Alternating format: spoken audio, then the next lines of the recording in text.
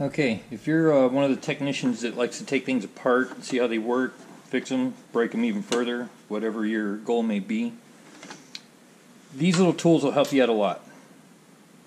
I made these out of just your standard automotive engine oil dipstick. I cut them down to size, put them in my bench vise, and using a hammer, uh, which helps me shape them and bend them to 90 degrees, I have several of them different, slightly different sizes.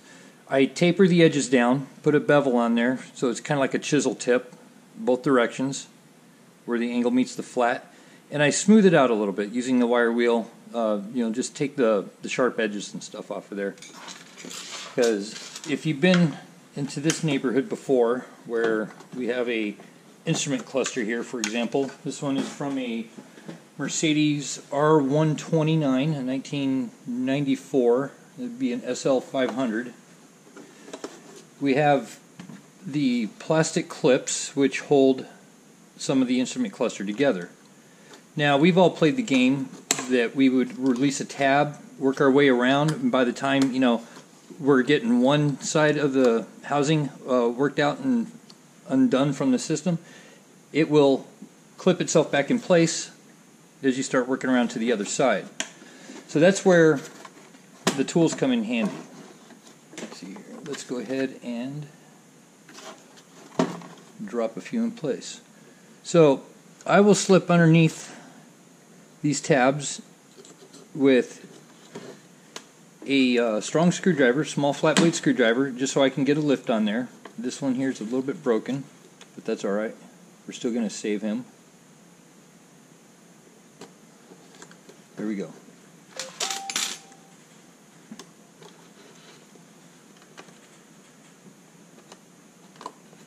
And you can use these tools in this fashion here to help keep those plastic locking tabs open.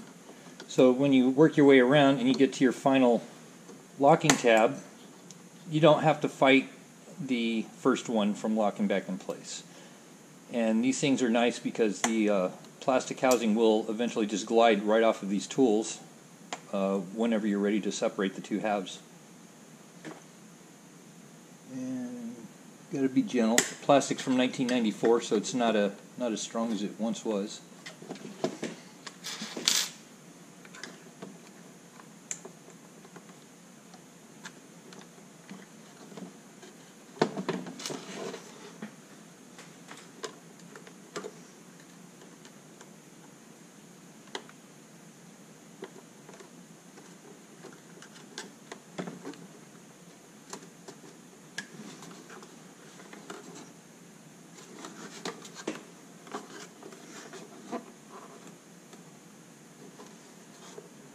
And this one's got two screws.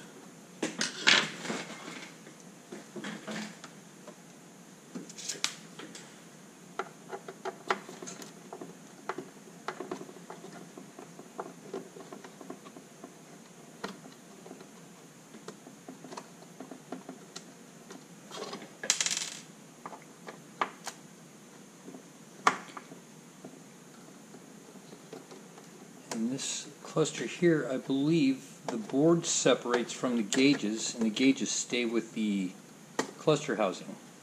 And that can be done. These are pressure tabs going around the pins, but this can be gently worked off.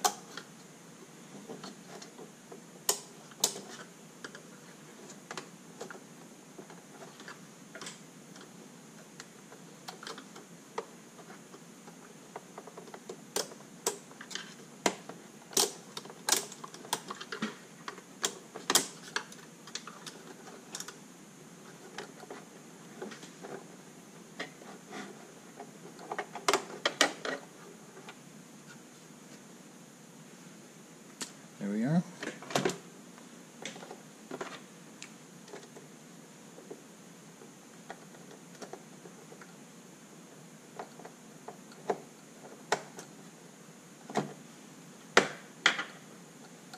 And there we are. So, it looks like this is ready to be separated. Let's see how well it works.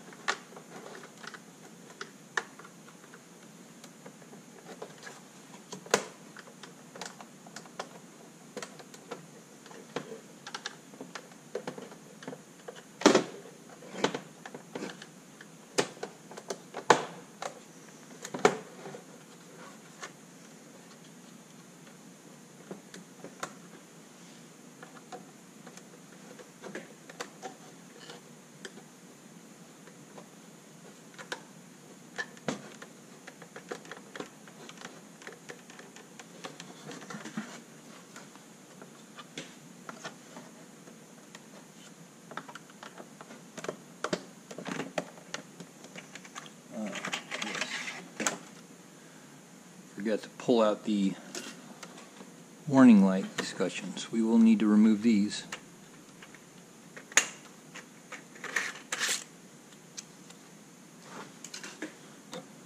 Now this should come apart. Yeah, there we are. So the tools allowed the plastic clips to just glide over their locking partners and the separation of plastic boxes and everything else that you will encounter will be a lot easier.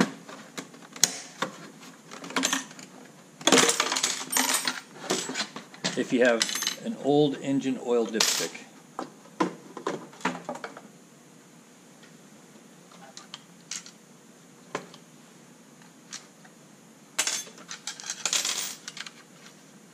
And there we are. I hope that helps you out.